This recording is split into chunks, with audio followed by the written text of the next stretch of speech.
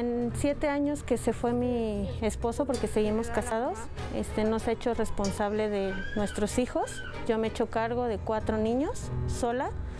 Para Abigail los recursos económicos, asegura, son muy limitados, por lo que refiere no ha tenido de otra más que quedarse a vivir en casa de la familia de su esposo, con quienes tiene problemas.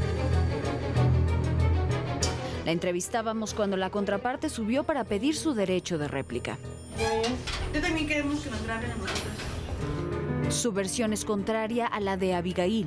Mi hermano metió la, la demanda de divorcio y sabemos que con la demanda de divorcio viene la pensión alimenticia.